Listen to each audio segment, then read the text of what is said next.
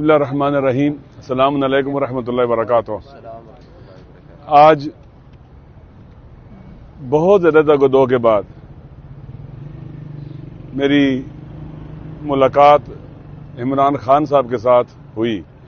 ہم session court میں گئے، وہاں سے پرمیشن ملی، پھر نئی ملاقات کرنے دی گئی۔ ہم کنٹمپٹ آف کورٹ میں گئے۔ پھر اس کے بعد ہائی کورٹ میں گئے اور ہائی کورٹ کے آرڈر پر پھر ہماری ملاقات کی پرمیشن ہوئی۔ میں آج خان صاحب سے ملا مدتوں بعد، کیونکہ پہلے اکثر و بیشتر جب چاہتے تھے ملاقات ہو جاتی تھی۔ لیکن خان صاحب پہلے سے زیادہ بھی اس وقت وہ طاقتور ہے پہلے سے زیادہ ہے وہ اپنے افکار، نظریات اور راہ پر وہ ڈٹا ہوا ہے، ان پر ایمان اور باور یقین رکھتا ہے۔ پہلے سے زیادہ خدا پر ایمان میں اضافہ ہوا ہے۔ اللہ پر توکل بڑا ہے۔ ہمت بڑی ہے، شجاعت بڑی ہے، بہادری بڑی ہے۔ اور امید بھی بڑی ہے۔ وہ اس جدوجہد کو آزادی کی جدوجہد کہتے ہیں۔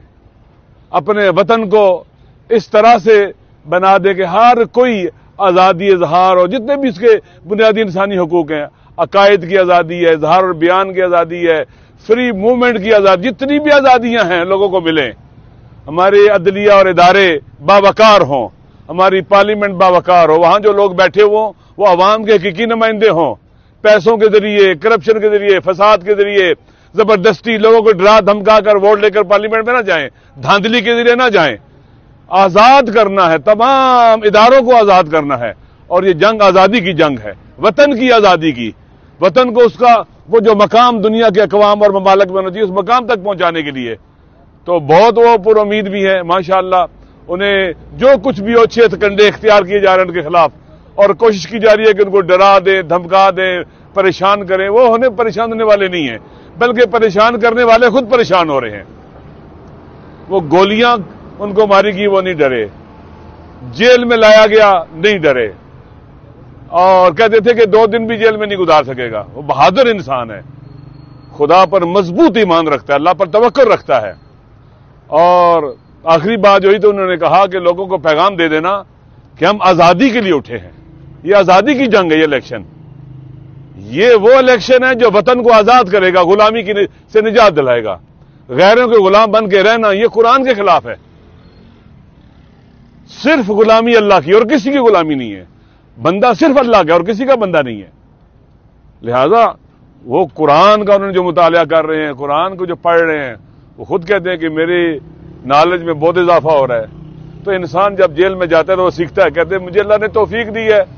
سوچنے کی، فکر کرنے کی، مطالعہ کرنے کی، پڑھنے کی، زندگی اتنی ہنگامہ خیز تھی کہ پڑھنے کا موقع نہیں ملتا تھا۔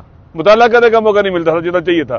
الحمدللہ، عبادت کا بھی بہترین موقع ملتا ہے، قرآن کی تلاوت کا موقع ملتا ہے۔ کہتے ہیں تین بار قرآن ختم کیا ہے۔ اس طرح سے پھر اب باقاعدہ قرآن کو تفسیر کے ساتھ اور مفاہیم کے ساتھ پڑھ رہا ہوں۔ تو یہ ایک انسان ہے جو جیل میں آنے کے بعد خوفزدہ نہیں ہوا، اس کے پلیٹ لیٹس جو ہے نا، وہ نیچے نہیں گئے ہیں۔ اور وہ وہ بیمار بھی نہیں ہوا الحمدللہ، جیل میں آنے کے بعد۔ وہ صحت مند ہیں، الحمدللہ صحت مند ہیں بظاہر۔ تو ڈٹے ہوئے ہیں، اور مجھے بھی خوشی ہوئی ہے کہ ہم جس کے ساتھ کھڑے اور ہم اکٹھے کھڑے ہیں جس جگہ کے اوپر، وہ شخص دلیر ہے، بہادر ہے، شجاع ہے، اپنے وطن کے ساتھ با وفا ہے۔ اپنی قوم اور ملت کے ساتھ بھی با وفا ہے۔ تو الحمدللہ، ایسا شخص کبریت احمر ہوتا ہے۔ وہ پاکستان کے عوام کو ایک قوم بنانے کا سفر جو ہے جاری کیے ہوئے ہے۔ کہ آپ کو پتہ ہے کہ ہمیں ٹکڑوں میں بانٹا گیا ہے۔ ہمیں شیعہ سنی کی تفریق میں ڈالا گیا۔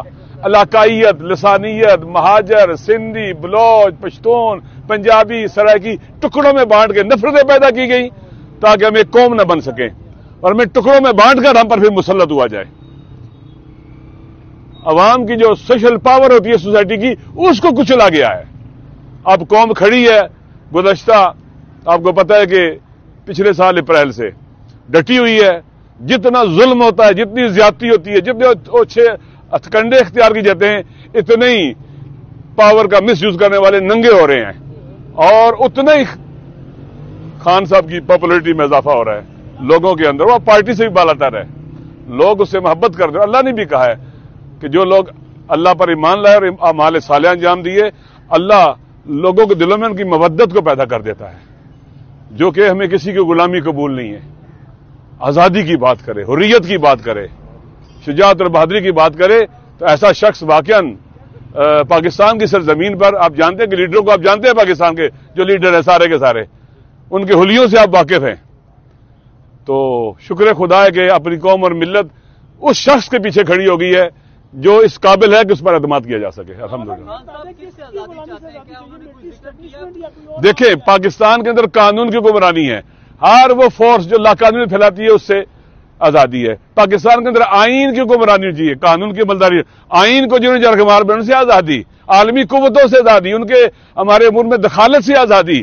ہم ان کے ساتھ لگ کے اپنے پاکستان کو تباہ برباد کیا پہلے ٹوٹا ہے، اب باقی مندہ پاکستان دیکھیں جنگی حالت پیش کر رہا ہے، تباہ برباد ہے۔ معاشی طور پر، سیاسی طور پر بحران ہے۔ سیکورٹی کے مشکلات اور مسائل ہیں، جن کے ساتھ ہم کھڑے ہیں۔ ان سب سے آزاد ہوں تاکہ پاکستان کے عوام طے کریں کہ ہم نے کس طرف جانا ہے۔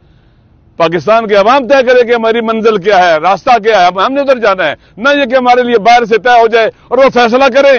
اور ہم جناب ان کے غلاموں کی طرح سر جھکا کے اس پر عمل کریں۔ میرے خیال میں نہ یہ قرآن اجازت دیتا ہے، نہ سنت، نہ انبیاء، اولیاء خدا، نہ ہمارے شودا اور وہ عظیم لوگ جو ہمارے پیشرو تھے، کوئی بھی نہیں اجازت دیتا کہ ہم غلامی کی تو گلے میں ڈال کر، سر جھکا کر ان ظالموں کے پیچھے چلیں، جو غزہ کے بچوں کے قاتل ہیں۔ امریکہ غزہ کے بچوں کا قاتل ہے، اسرائیل غزہ کے بچوں کا قاتل ہے۔ اس نے کہا تھا ہم اسرائیل کو تسلیم نہیں کریں گے۔ امریکہ کو کہا تھا کہ آپ غلامی قبول نہیں کریں گے۔ آج آپ دیکھ لیں غزہ میں کون قاتل ہے؟ تیس ہزار کے قریب بچوں کا، عورتوں کا اور مردوں کا بے گناہوں کا قاتل۔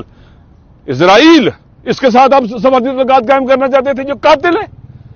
اور امریکہ جو اس کو اسلحہ بھیج رہا ہے، جہاز دے رہا ہے توپیں دے رہا ہے، سب کچھ دے رہا ہے اس کو اسلحہ۔